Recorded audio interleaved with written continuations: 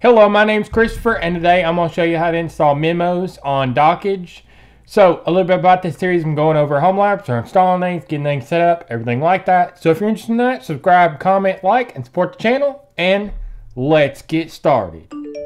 I wanted to let y'all know about the Big Bear community. We just launched a uh, community on community.bigbeartechworld.com.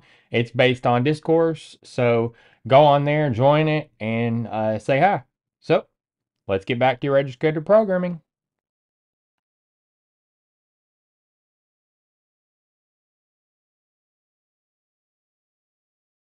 So this will be installed today, Memos. It's an open source, lightweight note-taking service. Easily capture and share your great thoughts.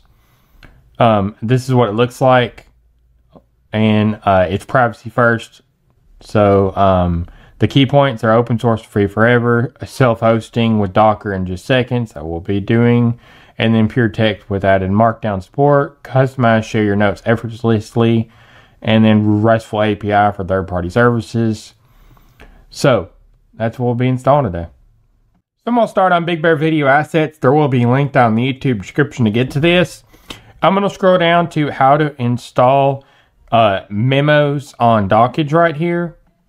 And then I'm going to go in the Docker Compose.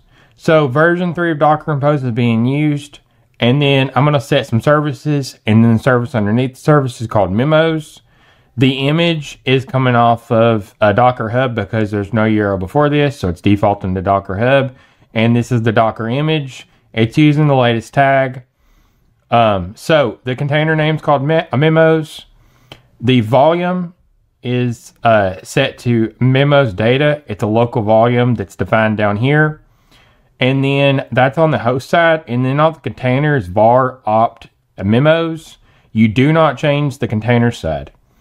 And then now ports 5230 on the host side, 5230 on the container side. If the host side uh, collides with another port on your host, you can change this to something like 5231 but do not change the right side, which is the container side. So, and now we define the volume. So I'm going to go up here to copy raw file, and then I'm going to go over to my Dockge and get this installed. So I wanted to let you know uh, about the Big Bear Club. Uh, uh, uh, you can join it, and it greatly supports this channel, and I very much appreciate it. So uh, if you'd like to join the Big Bear Club, you can go down the YouTube description and uh, go to my Ko-Fi link and join it from there. So let's get back to educated programming. So I'm going to start on a Dockge. I'm going to go up here to compose and then I'm going to give it a stack name of memos stack. And then now I'm going to go over to the editor over here. I'm going to paste in what I explained over in Big Bear Video Assets. And then uh, yours should look like this. So I'm going to go over here to deploy. And now it's pointed off of the registry getting it extracted and getting it up with Docker Compose underneath. So you can now see that it's uh, working down here and it's ready to go. So now I'm to start on my Dockge.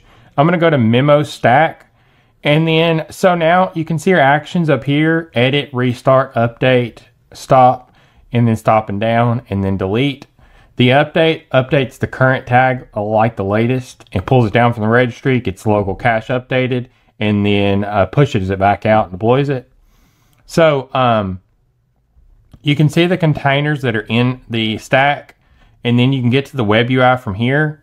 You can also go into the container uh, into Bash. If you get this error, you, you need to switch to SH, and then you'll be able to run a ls command here, and then you see memos.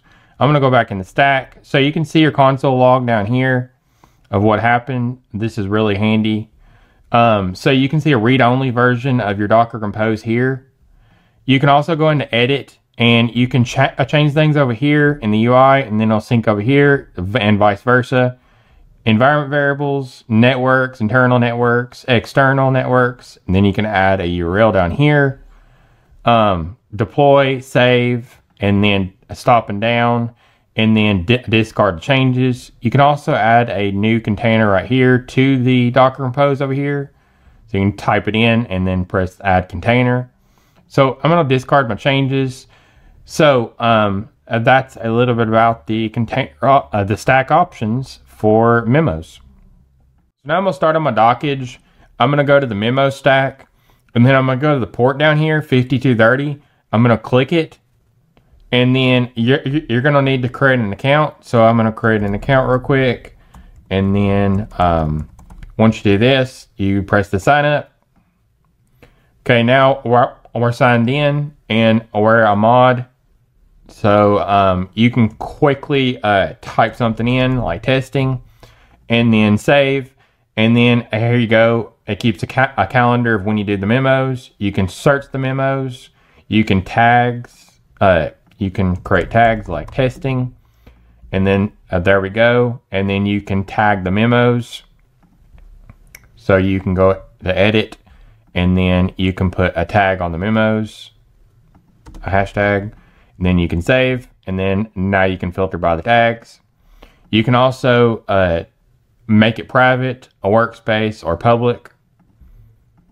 This is a public memo. Okay, now you can save. You can also put tags in like that and images, uh, links, um, uh, checkboxes, and then code. Um, you, you can go down here to daily review and then a resources and then explore. It's a public memo. You can pin the memos too. So you can go over here and it's pinned now. Um, you can go back to inbox and then the archived. So if you go here and uh, you want to archive a memo, you just archive it. Then it's over here again. Then if you want to unarchive it, you just restore. You can also delete. So um, here's settings. So you can change your account information. So you can edit your account here. You can put an email address in. You can change your password. You can see your tokens uh, here.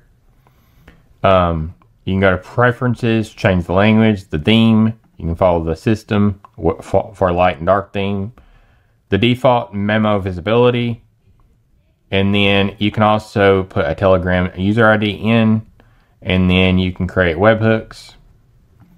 You can also go to members and add more members to your memos.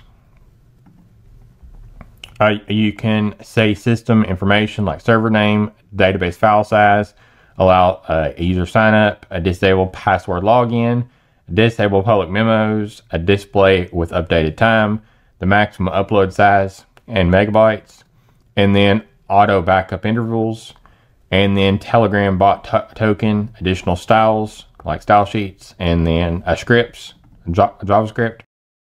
Um, storage, current uh, object storage of the database, local file system, and then um, you can create.